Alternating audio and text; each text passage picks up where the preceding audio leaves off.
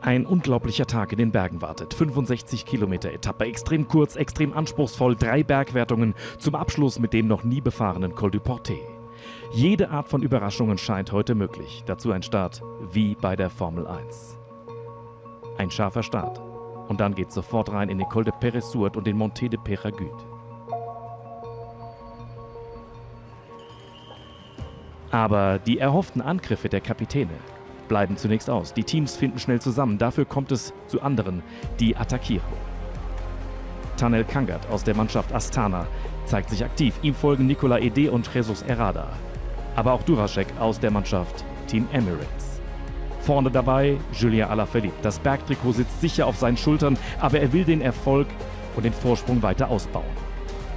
Movistar ist gut vertreten mit Valverde und Max Soler, während Quintana hinten einen Defekt hat. Aber man spürt, Movistar hat heute Großes vor. In der ersten Abfahrt kommt es zum Zusammenschluss zwischen Duracek, Alaphilippe und Kangert. Ede hingegen verliert den Anschluss. Gemeinsam geht es über den Col de Val-Louron. Im Hauptfeld übernimmt nun AG Desert, La Mondiale, das Kommando, zumindest kurz, aber Sky bleibt komplett unbeeindruckt. Die zweite Bergwertung, Alaphilippe vorne. Sein Vorsprung auf Warren Bagil wächst nun auf 67 Punkte. Am Schlussanstieg verliert er nun den Anschluss an Tangert. Aber sein Ziel hat er natürlich dennoch erreicht. Der erste Tangert zieht nun kurz darauf im Solo weiter. Aber seine Siegchancen erscheinen minimal. 15 Kilometer vor dem Ziel. Der Angriff von Nairo Quintana. Dan Martin versucht ihm zu folgen, aber er hat keine Chance, den Kolumbianer ernsthaft zu gefährden. 11,5 Kilometer vor dem Ziel Quintana fährt zu Valverde auf. Eine ideale Konstellation. Noch 6,5 Kilometer vor dem Ziel. Quintana erreicht Kangert und Maika kann nur kurz mithalten. Quintana fährt dem Sieg entgegen. Zwei Kilometer vor dem Ziel.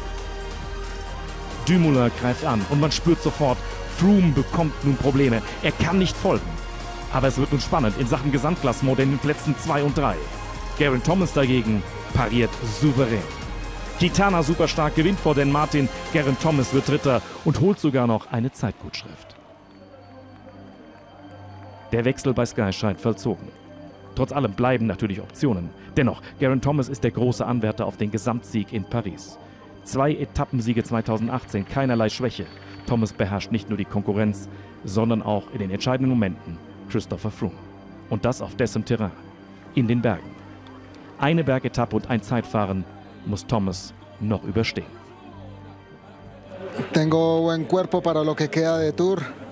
Ich habe weiter sehr gute Beine. Das hilft mir am Ende dieser Tour. Ich habe immer gesagt, dass ich noch eine Chance für mich sehe. Aber es wird natürlich sehr, sehr schwierig in diesen letzten drei Wochen. Das gibt noch eine sehr starke Auseinandersetzung. Nairo Quintana gewinnt wieder eine Etappe bei der Tour, nach seinem Erfolg 2013 in Annecy. Denn Martin macht etwas Boden gut und folgt mit 28 Sekunden Rückstand. Thomas Dritter. Froome verliert heute 40 Sekunden auf andere Favoriten. Der große Verlierer aber ist Romain Bardet. Er fällt raus aus den Top 5. Im Gesamtklassement hat Garen Thomas nun fast zwei Minuten Vorsprung auf Dumoulin und Froome muss als Dritter nun sogar Roglic fürchten. Dem fehlen nur noch 16 Sekunden aufs Podium. Quintana neuer Fünfter, Bardet nur noch Achter.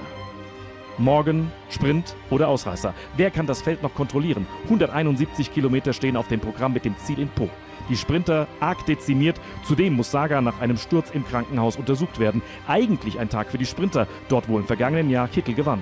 Aber es gibt große Hoffnungen für Ausreißer auf dieser viertletzten Etappe der Tour de France 2018.